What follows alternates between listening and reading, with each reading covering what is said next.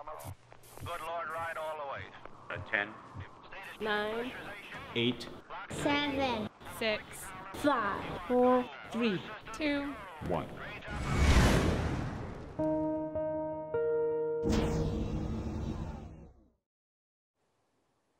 Hello and welcome to Slooh, where there really is space for everyone. I'm Paul Cox, and tonight we're exploring the full Hunter's Moon live through Slooh's telescopes. Now, this view, wait for it on the horizon. There's the shadow of the Pico del Teide. Tell you about that in a second. But this is from earlier on this evening. There's the bright orb of the Hunter's Moon rising above the horizon. How cool is that? And then we're going to see, I think, in just a second, uh, there will be a reflection on the ocean from that moon as it rises up. Now, that is at, uh, oh, look at that beautiful image. That, that camera is at 10,000 feet altitude uh, on the island of Tenerife. That's 300 miles off the west coast of Africa.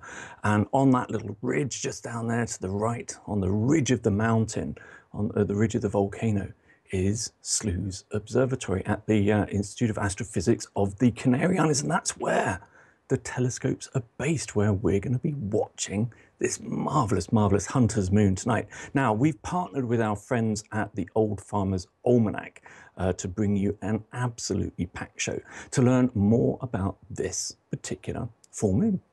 And if we think about what a full moon actually is, um, if you can imagine, if you can imagine my head, right, is the Earth, the moon, the full moon is behind me, but directly in front of me, where you are, you're the sun.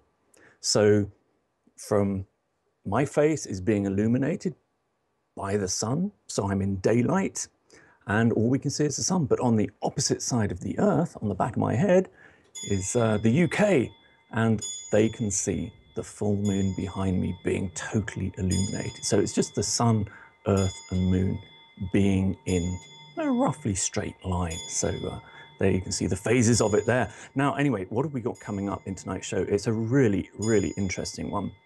Uh, we are going to be welcoming two very special guests tonight. And first of all, I'll be joined by Janice Stillman. Uh, regular viewers will know that Janice is the editor of the Old Farmer's Almanac. And she's going to help her enlighten us as to why this particular full moon is called the Hunter's Moon. It's kind of clues in the name on this one, isn't it, really? Uh, but then we're going to welcome a favourite guest of Slooh members, and that's, of course, Bob Berman. Uh, we're going to be discussing with him lunar impacts. Did you know the moon is under constant bombardment by meteoroids and asteroids? Uh, we'll also uh, find out just how often and whether or not we should be uh, concerned by that. We're also going to be talking about uh, the effects um, of a full moon on human beings. Uh, Bob's got some uh, fascinating little stories to tell us on that one, and you might be a bit surprised by some of them. But uh, let's take a very quick look at our live feeds tonight. Now, then, that is the panorama from the Institute of Astrophysics of the Canary Islands. And although it kind of looks like blue skies, doesn't it? Well, it is blue skies. And it looks like the sun's in the sky, but it's not. That is the full moon illuminating the entire mountain. It's why so many astronomers curse a full moon because it's very, very difficult uh, to image dim objects, faint galaxies and nebulae and things like that through Slooh's telescopes or any other telescopes. Now, this is um, which one is this? This is the Pico del Teide cam. So this is the same one that we, we saw that video from at the beginning of the show. And you can see we've got some pretty heavy clouds over the island tonight. But um, we have still got some images. I dared to open up the dome and there we see uh, that's our all sky camera. This is a special camera that Slooh members usually use uh, to monitor the skies over the observatory. And you can see there the bright moon, you can see that enormous ring as well that's caused by the, the optics, and you can actually see that in the sky as well. It kind of gives rainbow colors. Now you can see there it is clearing. So let's take a quick look at our wide, yes, there you go. There's our wide field telescope. This is Slooh's smallest telescope, but it has the largest field of view, which makes it absolutely ideal for the moon because we can get to see the full disk. Now, if we, I opened up the dome Actually, we, we've been closed because of these clouds, but I opened it up just for the show because it's really surprising at how much cloud you can actually image the moon through. And uh, it was even worse earlier on, and we were still getting some images. So we'll keep an eye on that image tonight. If it starts going a bit dark or a bit, bit shady, then we know that more cloud uh, has come over. Now, uh, don't forget, uh, Slooh members, if you're watching on the live channel, the event page at slooh.com, you can use the StarShare camera to uh, snap any of those images live. So that'll be cool. Now, what else have we got coming up? We're going to take a very quick commercial break now, but when we return, I'm going to be joined by our first guest, Janice Stillman, editor of the Old Farmer's Almanac, and she's going to talk about why this particular full moon became known as the Hunter's Moon. And then a little later, I'll be discussing lunar impacts with Bob Berman, uh, Slooh astronomer and astronomy editor for the Old Farmer's Almanac. Uh, we'll also explain actually uh, why we're not calling this month's full moon a supermoon like so many others. We'll explain that one to you as well. And if you have questions for me or my esteemed guests tonight, uh, you can send them to at Slooh on Twitter or you can use live chat uh, next to the video on the live channel page at slooh.com. Don't go away, we'll be right back with Janice Stillman after this short commercial break.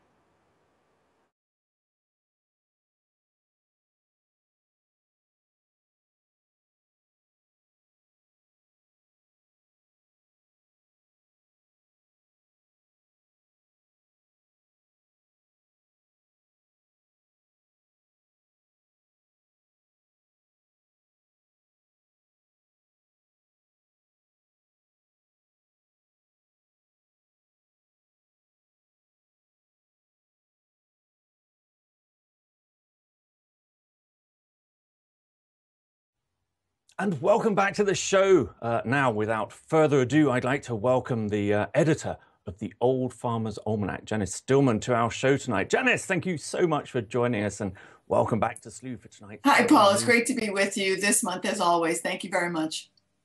Uh, now, for viewers who don't know about the Old Farmer's Almanac, what is it and, and what does it include? Well, the Old Farmer's Almanac is first and foremost a calendar of the heavens.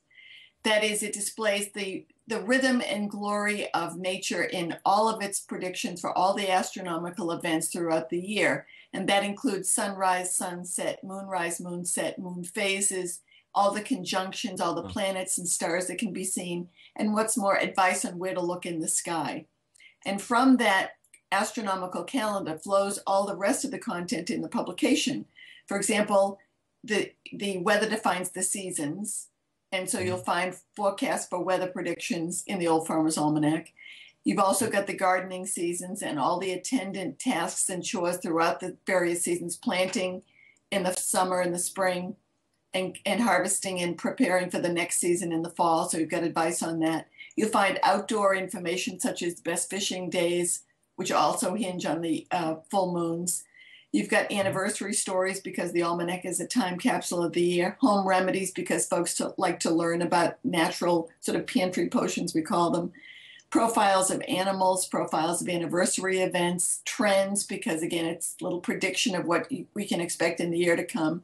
Remarkably accurate, if I may say so myself, from trends in farming and food and fashion and collectibles and things like that. So it's really a, a time capsule of the year a calendar of the heavens, and the one book you can read all year long because there is something indeed for every single day of the year, from trivia and holiday uh, information and astronomical data. And you know, what's especially fun, I think, for folks to look at this time of year too, is the sunrise and sunset times, yes, in your area, but also the length of day. Because here we are in autumn, and we're seeing the days get shorter, the sun sets earlier, the sun comes up later in the morning, and you wonder just how much, how many real daylight minutes do we have? And I noticed that, for example, between this full moon and next full moon, we will lose about an hour of daylight time. Wow. Might so it's a little really bit, a few minutes here there, depending on where you are. But it's kind of remarkable to, to think of that. And you can see that specifically delineated in the Old Farmer's Almanac or on our website, almanac.com if you put in your zip code. Okay, so make the most of those daylight hours because it's rapidly diminishing. But we are here, as you said, to talk about uh, the moon. And this month's uh, full moon is called the full hunter's moon. So how did I? I think we've got. I kind of got a clue on this one, Janice. But how did it get its name? Well, you know, certainly the Native Americans and early peoples named the moons by virtue of the observations that they made in the course of time. So, for example, the full hunter moon this time of the year was the light that enabled them to prepare for the winter, to hunt down animals, to get the meat and skins and furs that they would need for the upcoming winter season. So, it provided the light for them to do that. So I, I, guess it's you know it's after that the Native Americans were certainly at one with with nature. So this is after the period when you know small animals have been reproducing and their young are growing, and now they've got to start thinking about number one and storing meat and furs for the winter. And as you've just said, you know they will have noticed that daylight was rapidly diminishing as well. So, you know, the urgency was really there. The ebb and flow of, of time and the seasons was really giving them a very big signal. Yes, and they had other names that also described the events of the season, and so again cued them into what to expect. For example, some tribes called this the falling leaves moon. Others called it oh. the moon when the birds fly south, because of course we still see the birds flying south these days to escape the cold climate and the northern part of the uh, continent. And it's the moon when water begins to freeze on the edge of the streams. And certainly these days, when we're hearing about frost, hard frost, a light frost, that too is when water starts to freeze. So all of these were a way for them to mark and count and measure the seasons as we go forward and pre- prepare for what was to come. Now, you know, I've, I've just traveled back from uh, Slooh's headquarters in Connecticut on the east coast of America. And one thing that surprised me there versus the UK is just how rapidly autumn, fall came. You know, one day it seemed like a beautiful summer's day, and within two weeks, you know, all of the trees had lost a, a vast number of leaves, and it had really, you know, there was that chill, that autumnal chill uh, in the air. But and, and, that's probably associated actually with um, I've heard of one bit of weather lore which is associated with this October full moon. It, it's something to do with the frost, isn't it? Yes, indeed. Uh, in weather lore, we note the full moon in October without frost, no frost till the full moon in November. So if we can escape this weekend without frost, we have a good chance of relatively mild conditions until next month this time. Okay. It's a tough call and it may not be absolute everywhere. So there may be frost in some places and not elsewhere. So just wait and see what happens.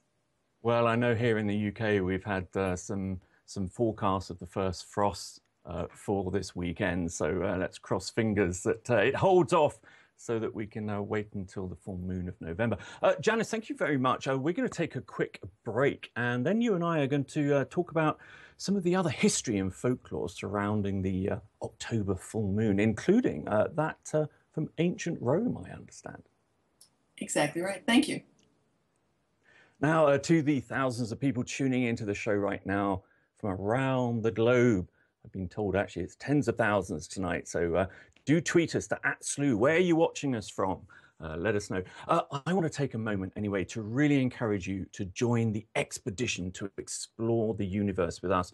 We do this every single night at Slooh. Our members aren't passengers either, but they uh, they kind of sign on as working crew to take control of our robotic telescopes, both uh, in the Canary Islands and in Chile for those southern hemisphere skies. And they share the most interesting places in space with everyone else in the Slooh community.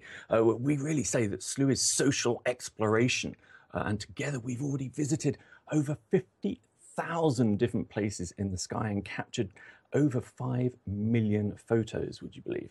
And you know, working as a team as well in that community makes it easy to learn from each other and share our diverse perspectives. And those are fueled in equal part by science, and imagination and the human spirit to just search and wander together. Uh, who knows, we may be alone in the universe, but you'll never be alone at Slooh. Uh, now, I also want to share a little secret with you. It kind of is out of the bag, but a year in the making.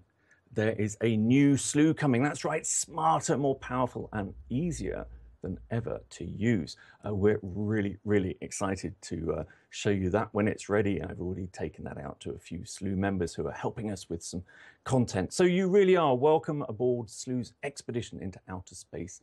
It's free to try, so do join our adventure into the great unknown. Now, don't go anywhere because we'll be right back after this short commercial break with Janice Stillman.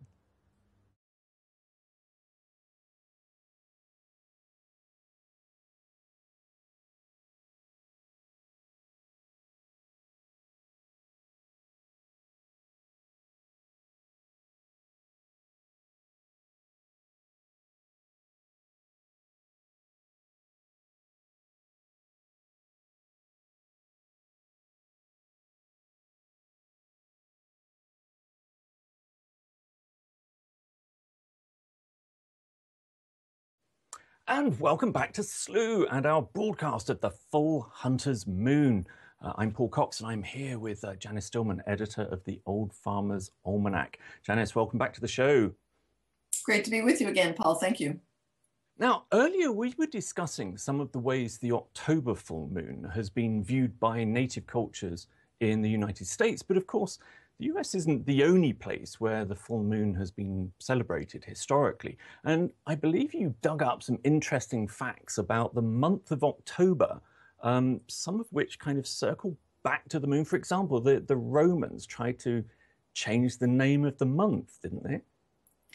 Well, people are always fascinated to know where the names of the days and the months come from. Mm. And you can find this in the almanac and on almanac.com. But since we're sitting here in October, let's just discuss the idea that in ancient Rome, in their calendar, October was the name of the eighth month of the year, Octo for eight. It comes from the Latin word for eight, O C T O.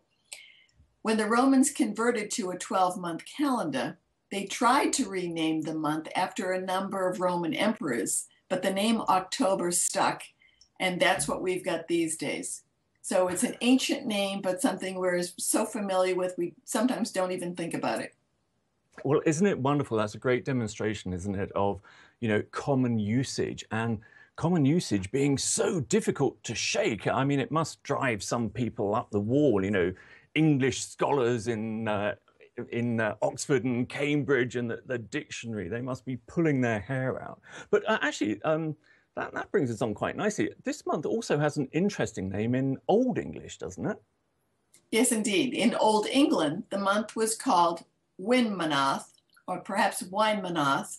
I don't want to mispronounce that, but it's not clear exactly in the Old English. Perhaps you can actually shed some light on that. But that means wine month, and you can understand that because it was the time when wine was made. You can imagine the grapes have been harvested, and so they've been pressed, and the wine was made and put into um, vats. The English also called it Whiter Winter Phileth, Whiter Phileth is the pronunciation for the winter full moon. That's what it means.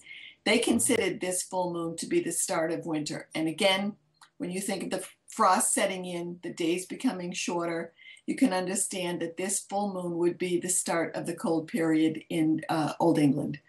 So it, it's fascinating to step back and take a look at again the names of the moons, the names of the months, the names of the days, and it's just part of the lore and fun, really, of the Old Farmer's Almanac. Well, it's, it's all part of this. I, I'm absolutely fascinated with all of this. You know, it's how mankind down the ages have have marked the ebb and flow and the astronomical events such as these full moons and even where the moon and sun sets obviously and rises on the horizon to mark that ebb and flow and the important um, the important tasks that they need to be doing each month. And I can't think of a more important one than a wine full moon. what did you call that one again? I think that's a great one. Winmonath. It's W I N M O N A T H. So Winmonath okay. or Wymonath. I'm I'm not completely clear, but yes, it is the. Yeah, it's a fun name and a reference to making wine. But you know, the moon was always so important in so many cultures because the full moon indicated when to do so many chores from pruning and planting to cleaning up the garden to fishing to hunting, as we pointed out, and to just prepare in general. And that's just this month. Every month had, a, had numerous names and numerous tasks were assigned. And that's mm. wonderful when you think of how the astronomy that surrounds us all brings us all together and puts us all into the glorious rhythm of nature. It is. I, and on that note, Janice, thank you so much for joining us today uh, to talk about this October full hunter's moon. Uh, we're going to see you again next month for the mega beaver moon. That's going to be a great one. That's the largest moon of the year. So uh, thank you very much for, for joining us tonight. Looking forward to it. Thank you very much. Bye now. Thank you, Janice. Uh, that was Janice Stillman, editor of the Old Farmer's Almanac. Now, speaking of the mega moon, uh, we're going to take a quick commercial break, but when we come back, I'll be uh, talking to Slooh astronomer and astronomy editor of the Old Farmer's Almanac about the uh, many fascinating features that we can observe on the moon through Slooh's telescopes. And we'll also be talking about that upcoming mega moon. Uh, we'll be right back after this short break.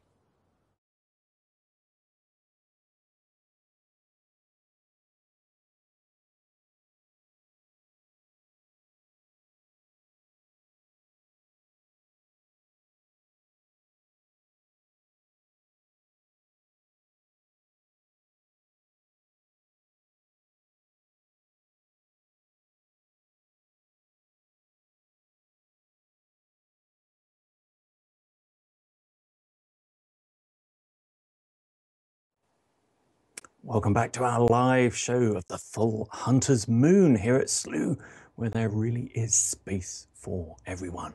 Uh, I'm Paul Cox, and tonight uh, we've been talking about the way different cultures have looked at this particular full moon and even marked uh, the seasons by it and the ebb and flow of time. But did you know that the moon is constantly changing? Yes, it's being constantly bombarded by asteroids uh, in kind of a cosmic shooting gallery. And here to talk uh, more about this subject is Slooh astronomer and astronomy editor for the Old Farmer's Almanac, Bob Berman. Hi, Bob. Welcome to the show. Thanks, Paul. Good to be here as always. Well, I was reading some fascinating figures, uh, I think last week, Bob, about just how much the moon is bombarded by material. I mean, it's a huge quantity, isn't it? Oh, yes, absolutely. Uh, the moon and Earth uh, receive not terribly disparate amounts. We have more of a gravity to pull it in, but we have an atmosphere that burns it up more easily. Yeah. The moon has no protection. Wham! Everything that hits the moon's surface, it remains there. And we, anybody with even the smallest telescope uh, can see that. The Slooh telescopes are overkill in that department. Any mm-hmm. inexpensive department store telescope shows the violence on the moon, especially the violence that happened uh, in the Wild West years of the solar system, longer ago than wow. about three and a half billion years ago, when there were things marauding, objects just marauding through the solar system, and all the planets and all the moons of the solar system really got pounded much more frequently then than now. And most of the uh, violent evidence is on the moon. The craters and the uh, rough features come from that period.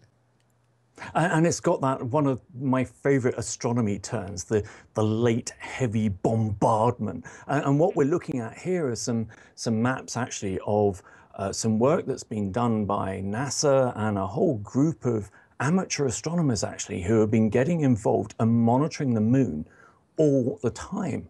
Um, and you saw a map a, a, second ago of all of the actual impacts that have been spotted. And this one uh, was taken um, by the uh, Lunar Reconnaissance uh, spacecraft. And this is of the same area. And, and, this is a fascinating before and after image, Bob. You know, they, they went over once and they're mapping the moon at this very high resolution, went over it again a couple of years later, and suddenly they see this new impact crater and this, you know, huge spread of ejecta. Now, you've spoken before on some of our shows about asteroids that some of these objects, they don't have to be very big to actually cause some fairly large craters. And, and that has to do with, with what? Their velocity, their speed? Yes, exactly right, Paul. The uh, actual kinetic energy, the impact force, the explosiveness, if you like, of a impact has to do with its uh, uh, mass, times its uh, velocity squared. So a little change in velocity. You get a second object that hits the moon just a little faster than the first. And it doesn't create just a little uh, difference, it, it creates a disproportionately large amount of damage. Wow. Uh, and you, you hinted at it earlier uh, that the they have actually, I, I, believe, kind of mapped this these impacts on the moon, and we also can uh, detect uh, the, the meteoroids that are hitting Earth's atmosphere. And it does. The calculations kind of come up that we're being impacted roughly, uh, roughly the same rate for our given sizes. But you also hinted that very few of these objects actually reach the Earth's surface. Um, so is that the only reason why we don't see the number of craters on the Earth as we do on the moon? Well, that's the main reason is that the atmosphere burns them up. Every time we see a meteor in the sky, that is a, that world's in collision. That that is an example of something colliding with us, but burning up as it's trying to reach our surface. And that's why very few, proportionately, of the uh, meteoroids that come in from uh, outer space, let's let's call it, and mm. go through the atmosphere, actually safely make it entirely through the atmosphere and can be picked up. Not that a lot of them are. It's right. uncommon. In the state in which I live, I live in the mountains here in upstate New York, and only 13 meteorites have been found in the entire history of the state. Wow. Which shows uh, wow. how tough it is for an object to make it all the way through. To make it through. And uh, well, the other thing I was thinking about, actually, Bob, um, before we go to a break, was I wonder, we've got the Orionid meteor shower coming up. I wonder what a meteor shower would look like on the moon. They're obviously not going to be burning up because there's no atmosphere. But I did wonder whether or not you kind of see these kind of little plumes of dust, you know, as these tiny, tiny specks that normally burn up in our atmosphere kind of hit the regolith, the dust uh, of the moon. What do you, what do you, what's your best guess on that one? Yeah, that's a good point. point, and uh, probably in a very intense one, such as the Leonids that we had, back on November 18th mm. of 2001. Then so many are coming in. Uh, in that case, it was five every minute surrounding any observer. Like if you were outside watching, then you would have seen five a minute. And so, yes, there would have been five impacts around you every minute. And uh, perhaps you would have seen the, the dust and debris being hurled up, even though there's no atmosphere to uh, create a, a glowing streak in the sky the way it is here. Would be an interesting one. Anyway, uh, Bob, you're going to join me again a little bit later to tell viewers about uh, the mega moon next next month, um, and we'll also chat about whether the moon, the full moon, impacts people's lives. Does it affect mental health or increase crime rates or even birth rates about full moon? So we'll see you back a little bit later, Bob. Okay, good and we're looking at this live all sky image. So this special low light camera, it looks like daylight, doesn't it? It's a blue sky. No, that's the full hunter's moon there in the sky. And it looks, this special camera looks 180 degrees from one horizon to the other, the left-hand side. If you turn your head sideways, you can kind of see that those are the Slooh domes. We've only got one dome open this evening, uh, Dome 2, uh, and that houses the Wide Field Telescope, Slooh's smallest telescope, with one of the largest fields of view, so it's ideal to see the entire moon. We've kept the, the other domes closed because you can see here we're suffering from quite a lot of cloud, but this is a live image. Uh, there you can see it, uh, the dinosaur moon. Can you see that uh, T-Rex uh, heading a football? We might show you the uh, diagram of that later, but there's a live view uh, from the wide field telescope. Don't forget, members, you can be snapping any of these images uh, using the StarShare camera if you're watching at slooh.com. Uh, now, what we've got coming up uh, next is we're going to take a very quick commercial break, but I did want to tell you about a special broadcast we've got coming up uh, next week. Thursday, October 20th, we are kicking back to kind of watch uh, the Orionid meteor shower live. You can join us for a night of stargazing and meteor watching uh, starting at 8 p.m. Eastern Time. Uh, that's 1 a.m. Uh, for Western Europe and the UK. Uh, we are going to discover how this meteor shower was caused by the famous Halley's Comet, uh, and we'll learn how you can photograph meteors from your own backyard. Uh, and also, actually, a fascinating, fascinating subject here. Did you know you can hear meteors as well as see them? Well, we're actually going to be uh, letting you listen to meteors, and we'll explain that as well uh, on Thursday night. And if you've got a clear sky yourself, then take us outside with you and use us as your soundtrack uh, for your meteor watching adventure. Now, we are going to be right back looking at this lovely live image of the full Hunter's moon.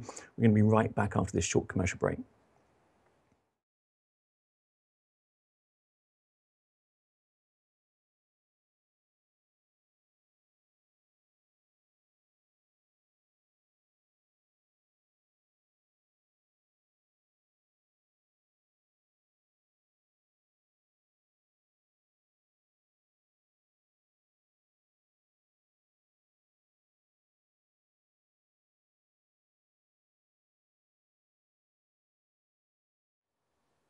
Welcome back to Slooh's Full Hunter's Moon Show.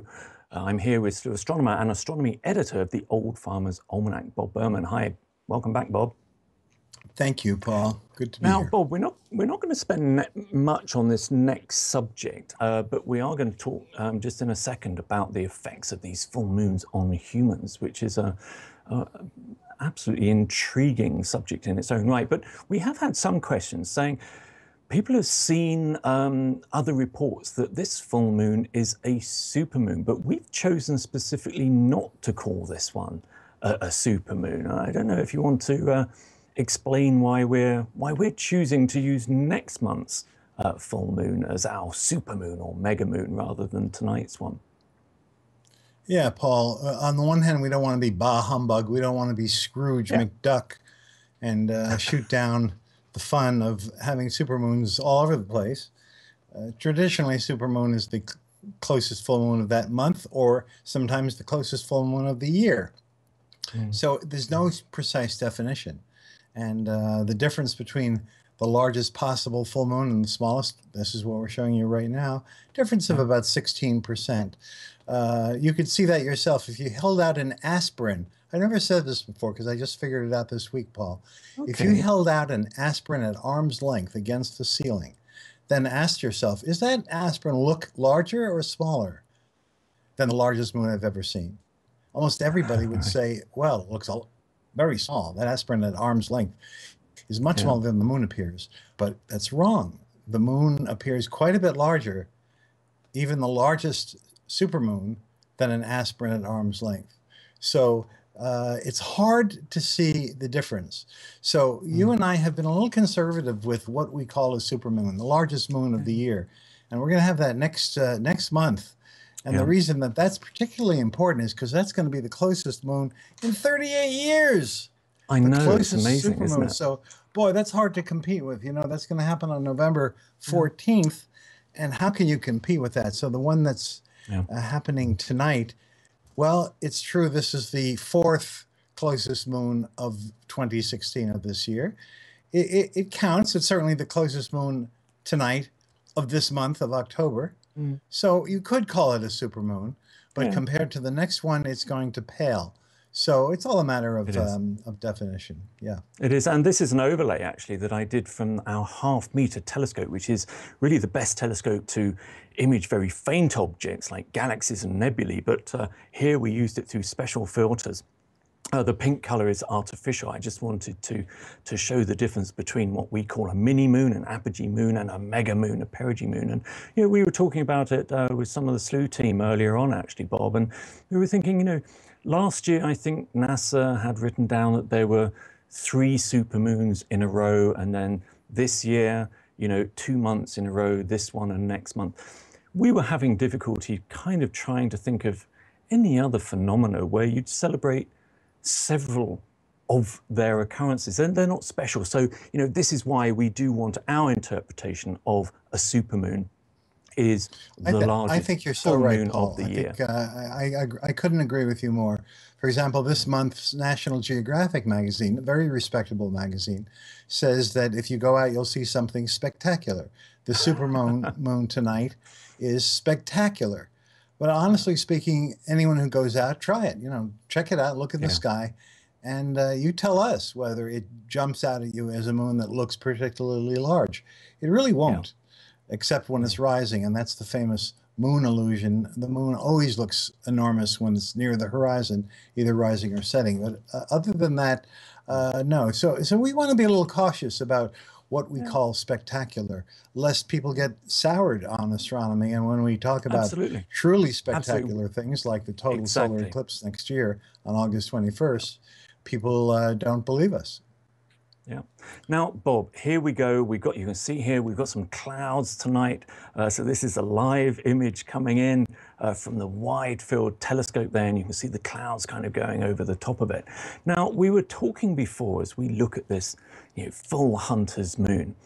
We've kind of had a, we've been hearing for decades, uh, you know, hundreds of years actually, that full moons affect humans. And we're not talking about you know, silly things like werewolves, but we hear stories of full moons affecting mental health, increasing crime rates, and even an increase in birth rates around full moons. But is there really any evidence to support any of this, or kind of are they old wives' tales? They really are wives' tales. There has been a number of studies looking for each of those things.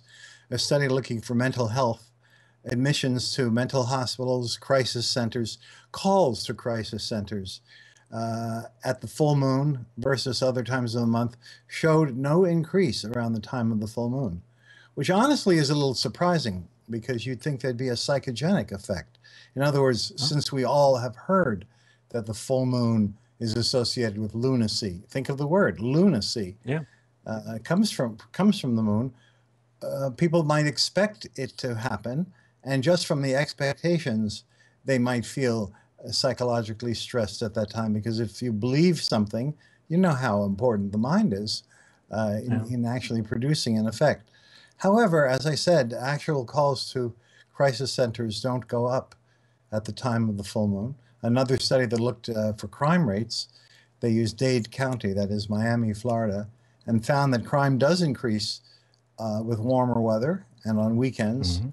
But there is no increase as per the uh, phase of the moon. And finally, Ah, a major study looking at births, Menaker and Menaker, a father and son team uh, back in the late 1950s, did find an increase not on the night of the full moon, but on the uh, period around the full moon. And so that made people think along those lines for a while that births had such an increase. But now it's been explained away as simply a psychogenic effect. In other words, people in the emerg- in the maternity ward have heard the rumor that uh, births increase, and therefore they'll say things like, "Up, here we go again. It's the full moon tonight. We're in Yeah. for it," and so they'll see what they're expecting. So we have to Yeah. be very careful with these. Uh, make those connections. I know that there was a, a, a study, a similar study on crime rates here in the UK uh, a couple of decades ago. Now, this hasn't been repeated in any follow up study, but they actually uh, noted that there was a reduction in crime. And what they put it down to was under moonlight, it's easier to see a, thief, a burglar. Um, so they you know, it's like being in a torture underneath a security camera, isn't it? But there have been other studies as well um, with security cameras, and obviously amateur astronomers are all about uh, dark skies and things. That actually security cameras are beneficial to robbers because they they cause such huge contrasts and shadows, which people can then hide in. So, uh, you know, the jury is still out on all of that, Bob. Now, thank you very much for joining us tonight. We are going to see you back um, on Thursday's show. I know you've got a couple of segments for us with the Orionid meteor shower. That's uh, now, how do you say it? Uh, we tend to say Halley's comet here, but I believe you use Halley's comet. Is that right? Yes, uh, I think most people say uh, Halley's, but popularly it's called Halley's because of Mm. the the uh, rock group Bill Haley and the Comets, Yeah. who made Yeah. Rock Around the Clock. So I think it'll be forever be called uh, Bill Haley, unfortunately. Halley's. Oh dear. And I really don't like that music either. So that's kind of spoiled Halley's Comet for me now. So anyway, Bob, we'll see you again on uh, Thursday, and uh, we'll also see you again for next month's Real Supermoon. Thank you, Paul. That was Bob Berman, a Slooh astronomer and astronomy editor of the Old Farmer's Almanac. Now let's take a look at our live streams again. Uh, we'll take a look at the all sky camera to see whether or not sky conditions have improved. No, still some pretty crummy clouds. So I think after the show we'll have to uh, close up again because we'll never image galaxies or nebulae or anything else. Don't forget, these are the telescopes of the Institute of Astrophysics in the Canary Islands, 300 miles off the west coast of Africa, 8,000 feet altitude. And those are the telescopes that Slooh members control every night. It is really easy to do so. If you have got you know, any kind of interest, well, if you're here, I'll tell you, you'd enjoy using the telescopes. There we've got our live panorama. You can see in the bottom right one, that's Pico del Teide, the actual volcanic cone. And uh, in fact, I don't know if you've been reading the news, but uh, some new volcanic activity has been uh, recorded over the last couple of weeks. So we're keeping a close eye on that. Uh, but uh, we are still getting these glorious live images coming through from our wide field telescope.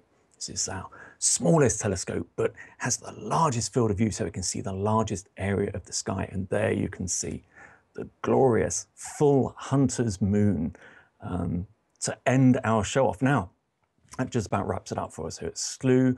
Um, I want to take this opportunity to thank our wonderful guest tonight. We had uh, Janice Stillman, editor of the Old Farmer's Almanac. And I tell you, if you haven't picked up a copy of the Old Farmer's Almanac, you need to do it now. Pick up the 2017 uh, copy now. Uh, if you're interested in anything to do with space or any any outdoorsy kind of stuff, or you just like to feel the ebb and flow of nature and the seasons, then pick up a copy of the Old Farmer's Almanac. It's great for gardeners as well, of course. Uh, she, now, she helped us understand why this October's full moon was known as the Hunter's Moon and still is. And of course, Slooh astronomer and astronomy editor of the Old Farmer's Almanac, Bob Berman, he helped us understand how the moon uh, hasn't really been shown to affect our biology in the way that many people have suspected over hundreds of years. So look up at it tonight because I think it does affect us. Because frankly, I look up at a full moon and I'm just in awe. If you stare at it for any period of time, really just think about what it is. Don't see that familiar object that you're used to seeing.